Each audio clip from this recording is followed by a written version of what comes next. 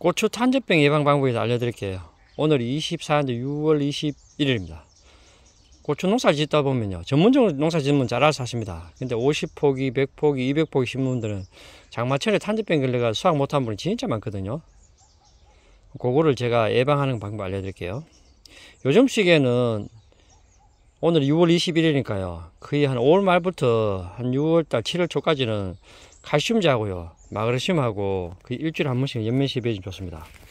잎들이 마그네슘 부족하면은 잎들이 약간 얼룩덜룩합니다.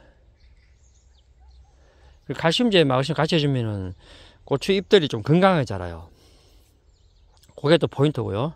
또 두 번째 포인트가 뭐냐면 이제 내일부터 되면은 비가 비도 오고 바람도 불 수 있거든요. 그러면은 이 고추 줄기가 제가 보시면은 안 돼 있는 게 이게 이게 막 바람에 많이 흔들려 가지고요.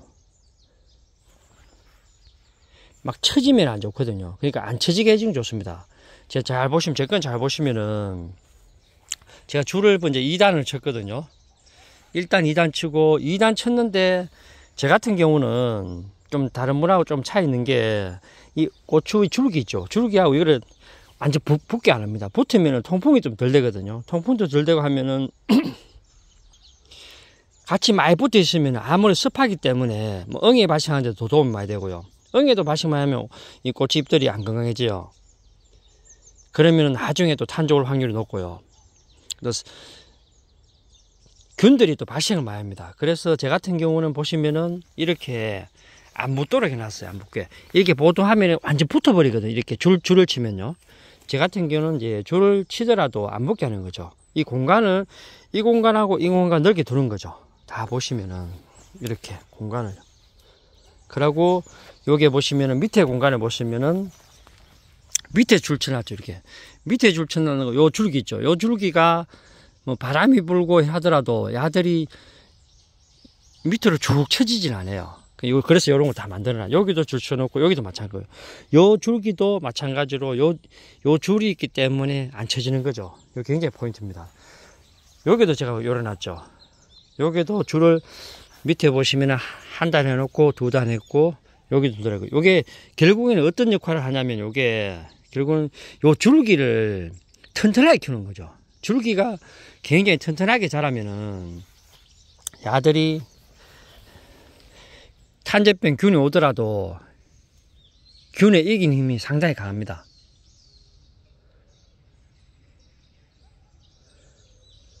이제 내일부터 비 오면 계속 지금 한 장마기 때문에 언제까지 비가 올지 몰라요.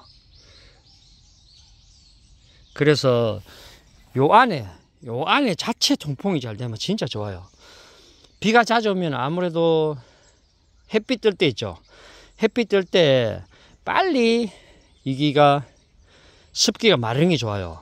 그 비가 올 때도 딱 붙어 있으면 야들이 지쳐버리는 거죠. 아무래도. 그래서 공간을 좀 넓게 해주면 좋은 거죠. 우리도 차에 뭐 어디 뭐 놀러 갈 때도 28인승 리무진에 그냥 앉아가는 거하고요. 우리 저도 뭐 60년대생이지만 옛날에 버스 타면은 버스 빡빡 타잖아요. 거기다가 그 여름에 에어컨도 안 틀어주면은 진짜 안에 덥거든요. 작물도 마찬가지입니다. 이게 빡빡하게 붙여놓으면은 지금 고온 다습하게 되면은 야들이 지쳐버려요. 지쳐버리면은 탄저병 걸릴 확률이 월등히 높습니다. 그리고 또 지혈을 낮추면 좋고요. 제 같은 경우는 여기 보시면은 제가 멀칭을 안 합니다. 지혈이 높으면은 뿌리 활착이 월등히 좋은 뿌리 활착이 월등히 적습니다. 그 지혈을 낮춰주면은 오이 뿌리들이 아주 건강하게 자랍니다. 건강 아, 오이가 아닙니다. 죄송합니다. 고추 뿌리들이 월등히 건강하게 자라기 때문에 탄저균이 발생하더라도 그 이기는 힘이 강하기 때문에 탄저병 걸릴 확률이 월등히 적습니다. 저는 중간에 일부 집을 깔고요. 옆에는 전부 다 풀을 키웁니다. 풀을 키워 가지고 제가 풀을 계속 깎아 줍니다. 전문적으로 농사 짓는 분들은 양이 많기 때문에 그 풀을, 풀을 키워하기 쉽지 않아요. 그러고 전문적 농사 짓는 분들은 점적 시설 해 가지고요.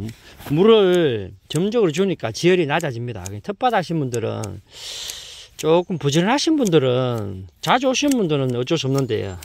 조금 부지런하신 분들은 오셔가지고 이 풀을 캐가지고 뭐 집이 있으면 집을 덮으면 좋고요. 집이 없으면은 풀을 캐가 풀을 잘라가 주면은 이 지열이 낮아지거든요.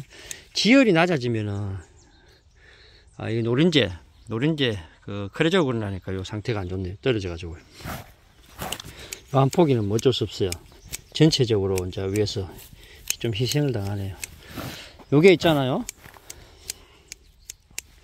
요래 풀을 깎아주면은 지열이 낮아지고 하면은 고추뿌리들이 아주 건강하게 자라기 때문에 탄저병 예방하는 데 엄청나게 도움돼요.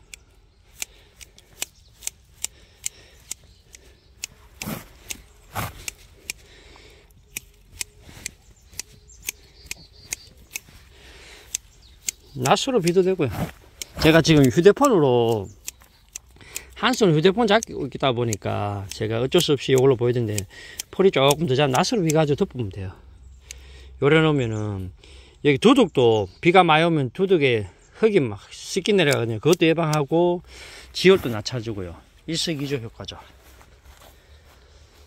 오늘 제가 그 여름에 뜨거운 여름에 고추 탄저병 예방하는 방법 알려드렸습니다.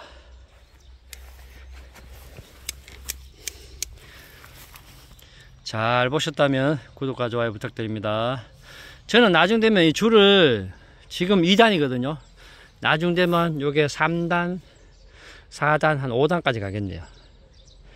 이 높이는 지금 1m, 높은 데는 한 1m 한 60 정도 됩니다. 요렇게 다 줄기를 다 안에가 통풍이 잘 되도록 계속 해주는 거죠. 그러면은 고추가 아주 건강하게 자라기 때문에 탄저병 예방에 아주 도움이 많이 됩니다.